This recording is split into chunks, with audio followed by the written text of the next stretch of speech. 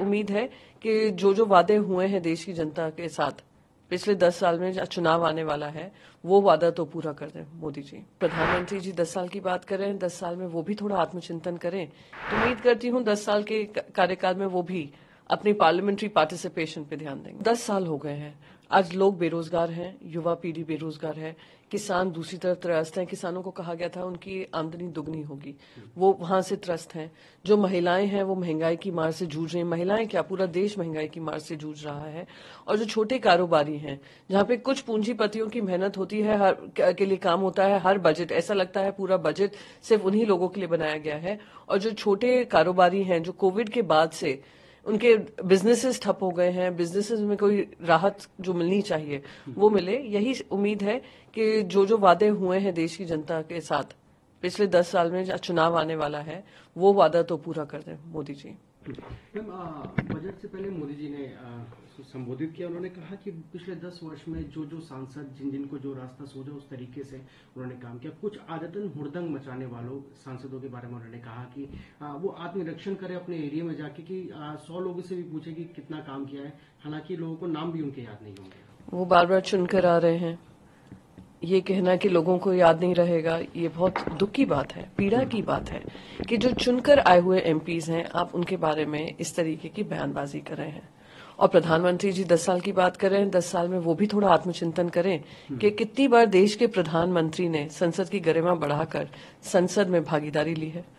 मणिपुर हो या जीएस बाकी सारे मुद्दे हो अदानी का मुद्दा हो पेगिसिस का मुद्दा हो किसी पे प्रधानमंत्री मोदी जी ने चुप्पी नहीं तोड़ी। और न ही उन्होंने ये ठीक समझा कि वो पार्लियामेंट में आए भी। तो उम्मीद करती हूँ दस साल के कार्यकाल में वो भी अपनी पार्लियामेंट्री पार्टिसिपेशन पे ध्यान देंगे। मल्लिकार्जुन खड़गे का कहना है कि इस बार अगर मोदी को वोट होता है तो ये देश का आखिरी चुनाव होगा। उन्होंने प्रेसिडेंट पुतिन का एग्ज़ाम्पल देते हुए कहा कि प्रेसिडेंशियल रूल की तरह हो जाएगा। आपने कल चंडीगढ़ के पोल्स देखे मेयर पोल्स?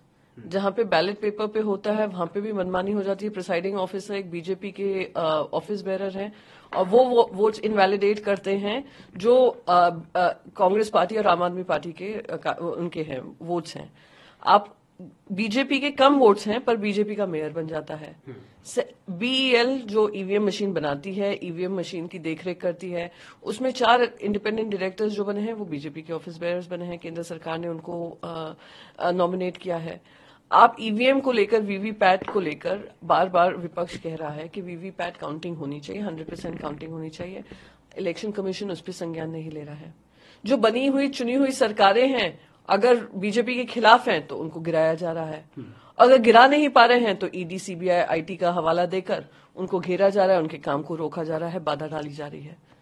तो ये सारे क्या लक्षण है? लक्षण यही है कि भारतीय जनता पार्टी इकलौती पार्टी बने रहना चाहती है। जेपी नड्डा जी ने तो कहा है, खुले मंच पे कहा है कि सारी पार्टियों को हम खत्म करके इकलौती पार्टी बनेंगे। तो क्या होगा? वही हाल होगा जहाँ पे तानाशाही चलेगी और कोई राजनीतिक पक्ष नहीं होगा। अगर डेमोक्रेसी का मॉडल दिखाने की कोशिश भी करेंगे तो ऐसी फ्लॉट डेमोक्रेसी होगी जहाँ पर कुछ भी करो, इलेक्शन रख लो, कुछ भी कर लो, पर चुनकर तो भारतीय जनता पार्टी आ रही है।